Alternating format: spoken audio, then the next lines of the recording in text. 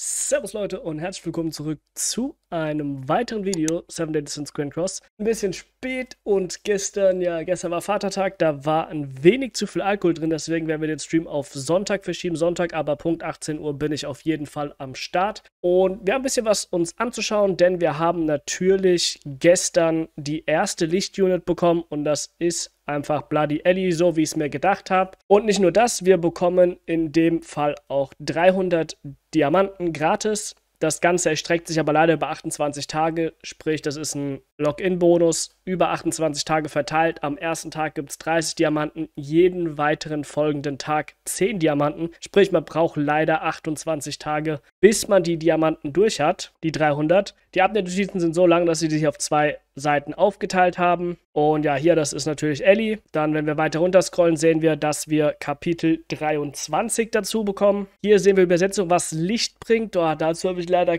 keine Übersetzung bis jetzt gesehen, was das Ganze hier betrifft. Aber was auch neu und richtig nice wird, wir bekommen endlich Level 100 dazu. Das sind die Sachen, die man dazu braucht. Das heißt, SSR-Anhänger werden hier nicht mehr lang. Man braucht jetzt solche UR-Anhänger. Ich hoffe mal, man kann drei SSR-Anhänger gegen einen UR-Anhänger bei King tauschen. Aber ich weiß es nicht. Aber es könnte eventuell sein. Wenn nicht, muss man die halt separat farmen. Dann hier diese Flammen. Das heißt, wir werden auch ein neues Todesmatch dazu bekommen. Bin mal gespannt, wie schwierig das Ganze wird. Ich denke mal, das sollte das neue Todesmatch sein, genau. Finde ich, ist ein nices Todesmatch, hat auch wieder mal was mit der Story zu tun. Das heißt, alle Todesmatches, die wir bekommen haben, sind natürlich irgendwo mal im Anime Seven Deadly Sins aufgetaucht. Finde ich auf jeden Fall nice. Mal schauen, wie sich das Ganze dann auswirkt, wie schwierig das ist, welches Team man braucht, welche Charaktere man unbedingt braucht. Dazu kommen dann aber auf jeden Fall auch Videos. Wie man sieht, muss man sich danach entscheiden, hier anscheinend, ob man Belmoth machen will oder das eben das neue Todesmatch. Hölle ist hier auch der höchste Schwierigkeitsgrad. Das heißt, ich gehe mal davon aus, hier haben wir eine CC von 400.000. Werden wir hier vielleicht eine CC von 500.000 haben? Ich weiß es nicht oder wird es bei 400.000 bleiben? Dann, wenn wir weiter runter scrollen, sehen wir hier, dass wir hier irgendwelche Pakete kaufen können, die wir vollkommen uninteressant finden, weil sie immer zu schwer sind. Dann sehen wir hier die 300 Diamanten, die es gratis gibt. Hier unten nochmal, das nochmal eine Belohnung. 28 Stufen.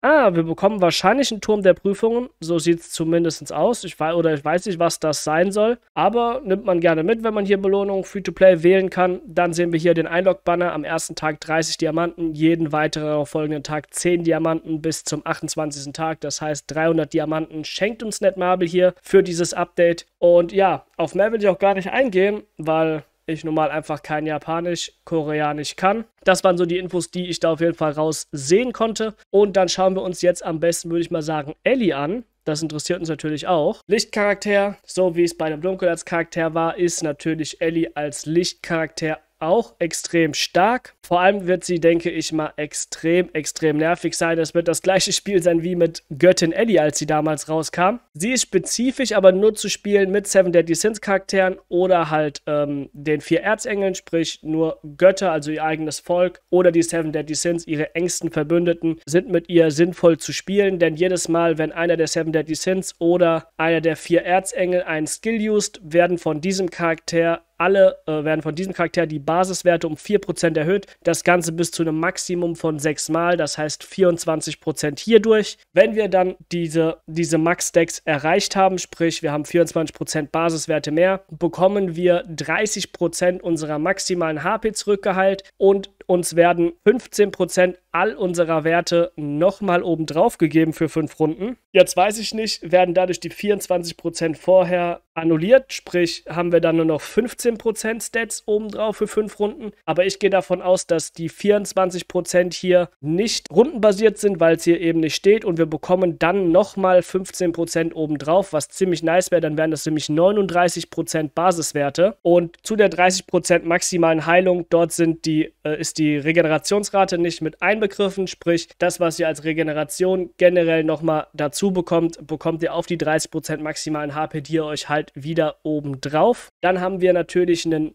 sehr, sehr starken Single-Target-Angriff. Hier Flut Damage kennen wir von The One 0,8% mehr Schaden pro 100% HP, den man hat, sprich bei 100% 80% mehr Schaden. Sehr starkes Single-Target. Jetzt kommen wir aber zu der bisschen verwirrenden Sache und zwar sind alle anderen Skills, die sie hat, basierend auf ihren maximalen HP. Sprich, hier macht 110% Schaden macht und für jeden, für jede Ultkugel, die sie hat, macht sie 3% zusätzlichen Schaden von ihrer maximalen HP. Das heißt, das ganze Ding ist wahrscheinlich schon relativ stark. Dann hier 5% und hier 8%. Sprich, hier wollen wir eigentlich auf maximalen Damage gehen. Wir sehen Level 1 Base Stat, 90% Crit Chance. Das heißt, Level 90, Super Awakening 6, alle Cosmetics, wird sie locker mal 110, 120% Crit Chance haben, wenn nicht sogar 130, 140. 50. Ich weiß es nicht, aber auf jeden Fall eine immens hohe äh, Crit-Chance, die sie hier hat. Und ihre Ulti basiert halt eben auch auf ihren maximalen HP. Das heißt, hiermit haben wir auf jeden Fall sehr guten Schaden. Und die Ulti ist natürlich wieder richtig broken. Problem, was ich dabei sehe, wie oft kommt man im PvP dazu, die Ulti zu verwenden? Ich eigentlich gar nicht mehr. Sprich, solange man sie davon abhalten kann, ihre Ulti einzusetzen, ist sie nur ein sehr, sehr guter Damage-Dealer mit mit einem sehr, sehr guten Support nebenher. Trotzdem ultra, ultra stark. Wenn man natürlich die Ulti zum Einsetzen bekommt, ist sie absolut broken. Denn damit machen wir 30% Schaden von ihren maximalen HP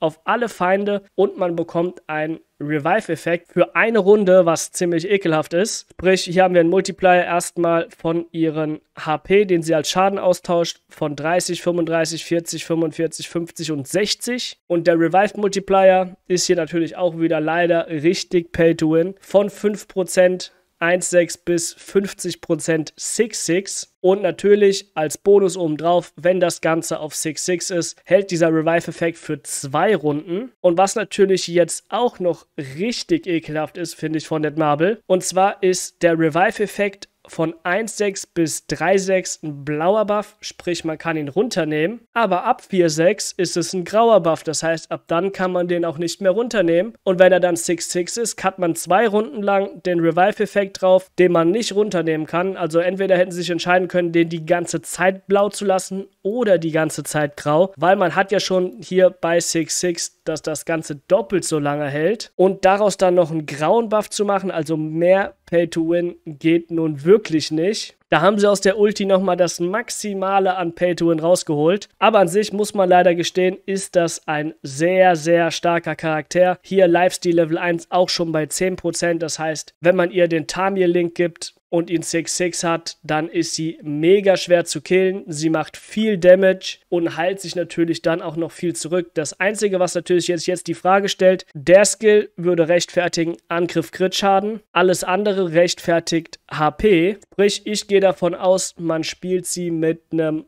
HP-Crit-Schaden-Set. Einfach damit man möglichst viel noch Damage rausholt und natürlich aus ihrer Ulti und ihrem AOE-Skill nochmal das Maximale an Schaden rausholt. Plus sie ist dadurch schwerer zu killen. Wenn man noch einen Tame-Link da dran hat, bringt das Ganze sogar noch mehr. Man muss immer mehr Schaden machen, um sie überhaupt down zu bekommen. Wird wahrscheinlich auch ein paar Leute geben, die mit einem Angriff-Crit-Schaden-Set spielen. Sie ist erst seit gestern draußen. Ich habe noch kein Video gesehen, was im Endeffekt jetzt das beste, allerbeste Set für sie ist. Wird sich mit der Zeit noch zeigen. Aber ich gehe mal stark davon aus, man wird mit einem HP-Crit-Schaden-Set spielen. Sind die meisten CC. Zwei von drei Angriffen machen dadurch mehr Schaden. Nur der Single-Target-Angriff leidet natürlich ein bisschen darunter, dass wir hier kein Angriffsset haben. Aber ich denke mal, das sollte trotzdem auf HP-Crit-Schaden rauslaufen. Dann natürlich, man spielt das Ganze mit den 7 Deadly Sins und den 4 Erzengeln. Aktuelle Meta, man spielt eigentlich immer die 7 Deadly Sins. Sprich, man spielt Traitor Melee, Seven Deadly Sins, man spielt Wing King, Seven Deadly Sins.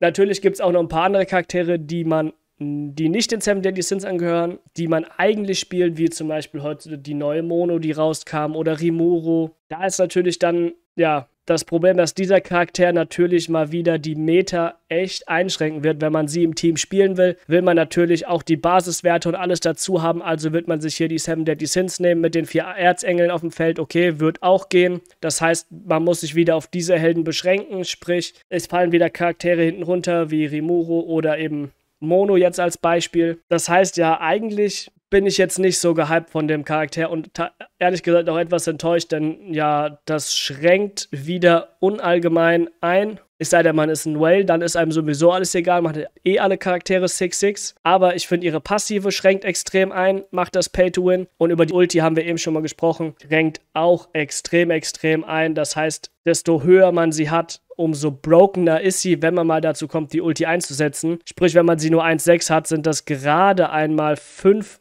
Prozent HP, mit denen man wiederbelebt wird. Hat man sie 6-6, sind es 50 und man hat sogar zwei Runden. Plus, dass ab 3-6 das Ganze zu einem grauen Buff wird, den man nicht runternehmen kann. Das heißt, hier hat es Marvel meiner Meinung nach mal wieder geschafft, einen maximal Pay-to-Win-Charakter herauszubringen. Aber sie schenken uns wenigstens 300 Diamanten. Das macht das Ganze natürlich wieder weg, weil man mit 300 Diamanten natürlich eine Ellie 66 hat. Natürlich nicht. Also sind die 300 Diamanten leider auch nur ein Tropfen auf dem heißen Stein. Aber wenigstens bekommen wir etwas und wenigstens hat eine gute Sache, wir bekommen Level 100 dazu. Das heißt, wir haben hier wieder mal ein bisschen was zum Grinden zum Glück. Aber ansonsten bin ich ja von Ellie etwas enttäuscht. Finde sie jetzt nicht so stark, dass ich sage, man muss sie unbedingt haben. Denn äh, für, also für PvE-Content ist sie mega, mega stark. Da ist sie richtig, richtig, richtig gut. Aber in PvP sehe ich spezifische Probleme, wie dass die meisten Teams, die man heutzutage spielt, darauf basierend sind, dass man mehr CC hat. Und wenn, der, wenn ihr dazu neigt, dass der Gegner meistens mehr CC hat, das passiert euch oft, wenn ihr Free-to-Play-Spieler seid, dann habt ihr natürlich das Problem,